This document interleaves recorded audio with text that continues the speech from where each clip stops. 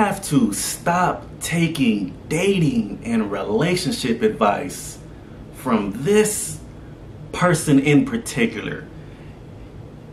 And we all have one of these. It's called your mom.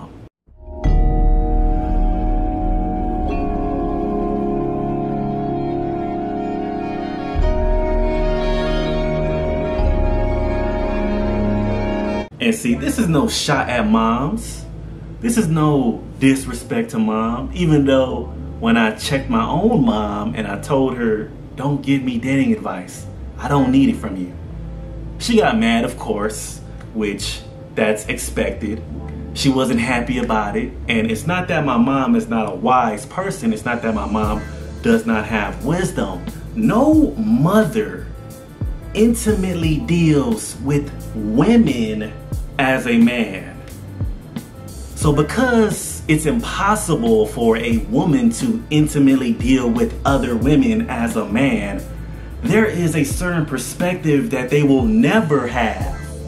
Never. They will never have the correct perspective in order to give you the correct advice. It's impossible for them. They don't interact with women as a man. They're a woman. It's impossible for them to give you the correct perspective. They've never done it before. They've never done it. So a person cannot give you advice on something that they've never done. They can't do it. They can try and tell you what they think the right, the right answers may be. They can try. They can give it the college try. They can tell you whatever they think may help, which generally, when moms give advice in relation to dating, marriage, whatever. When women give advice to their sons, it is typically centered around them being a nice guy. That's generally what all the advice will be. It'll be generally about you being nice, and it will not be on anything, any touchy subjects that she would feel uncomfortable talking to you about. Moms will never go into attraction on a sexual level with their sons. That's something that the average mom doesn't want to do with her son. Go into detail on that. And the average son doesn't want to hear that from his mom. So sexual attraction is something that's not even going to be brought up nine times out of 10. Really, 99 times out of 100.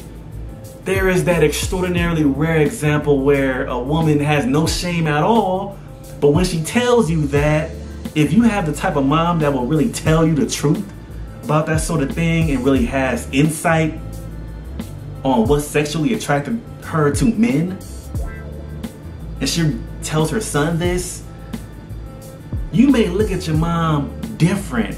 And see, most women want to maintain a positive image of themselves in the minds of all the men that they know. You see, whether they're a good woman or not, that doesn't even matter when it comes to this sort of thing. They all want to have a good image in the eyes of the men that they know. Regardless of their behavior, they still want to have a positive image. So most women don't want their sons to really know certain things. Truth be told, if you really want good advice on how you should interact with women, as a man, you're gonna have to humble yourself. You're gonna have to humble yourself. If you actually want good advice, you're gonna have to humble yourself and ask men that you know that don't have the problems that you have. And if you say, every man got the same problems with women, no, no maybe everybody in your circle has problems with women or certain problems with women, but every man does not have the same problems with women. That's just not true. So you need to seek out advice from men that don't have the troubles that you have. And I would always encourage men to seek out the advice of generally older men. You see, I'm 30 myself because some people are under the misconception, oh, women are different today. Women are different today. You shouldn't listen to people that are older than you, they're from a different generation. There's no change in what has attracted women to a man. It has never changed. Never. What women find desirable in a man has always been the same. Always. That's always been consistent. That part has never changed. What excites a woman, what arouses a woman, has been constant all throughout history. It has never changed. That part of it has never changed. The expectations that may have been altered, and yes, um, that part is not exactly the same as it's always been throughout history. But certain parts about women are always the case. Female nature. It has not changed by any significant amount. The core of it, the primal aspects of it, of what women are attracted to in a man, it's still the same. The only thing that's changed is a lot of men are under a delusion. That's what's new. The new part is that most men don't really have a, a real understanding of women because the society does not promote a real understanding of women. You're gonna have to figure that out through trial and error on your own or by seeking the advice of people that don't seem to have the issues that you have. That's the only option if you actually want to do better with women.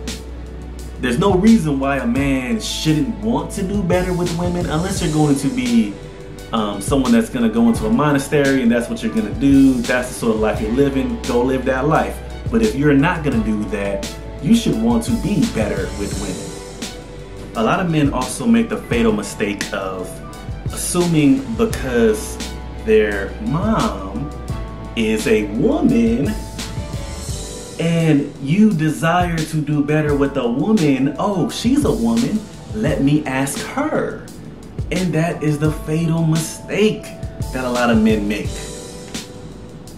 Because any advice she gives you, she doesn't really know.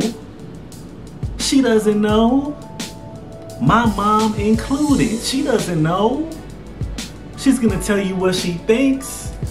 But one thing that you will notice is what she thinks is not what any man that has that is actually that actually does well with women and doesn't have problems with women. None of these men will say the same thing that she's saying. None of these men. And I mean, there's certain problems that you're gonna have just dealing with people.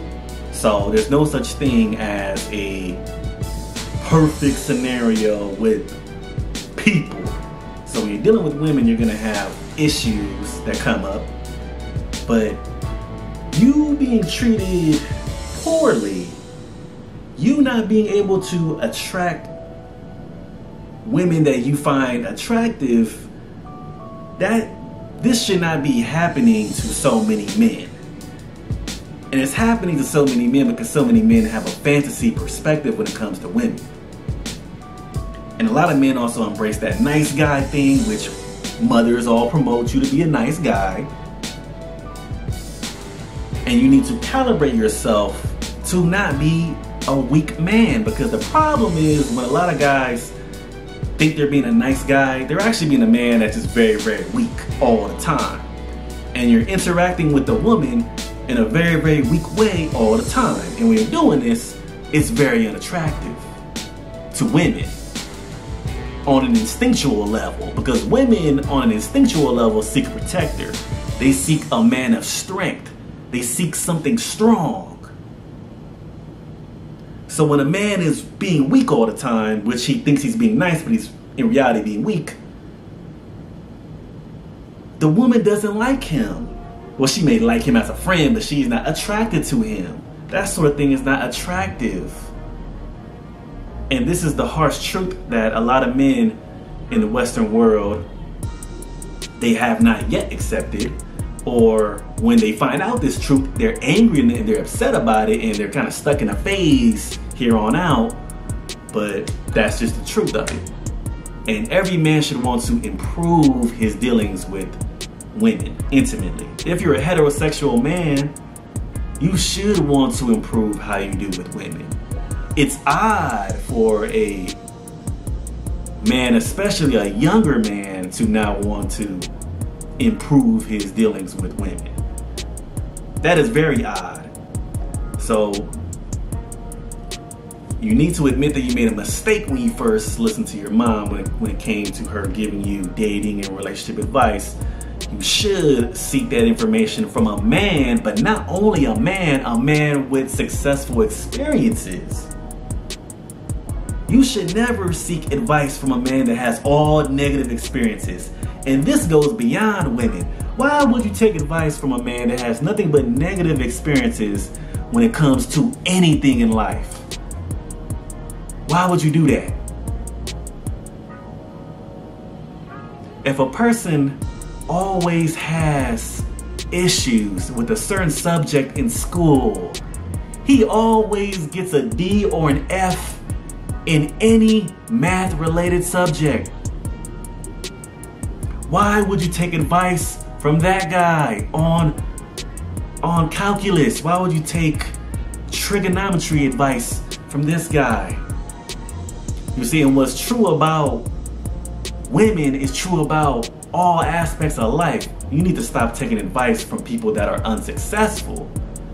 That's where the issue is or people that are just not knowledgeable.